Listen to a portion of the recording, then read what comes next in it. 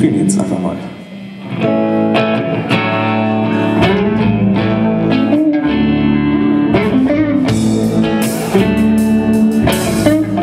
Ja, der Song heißt Time of Change.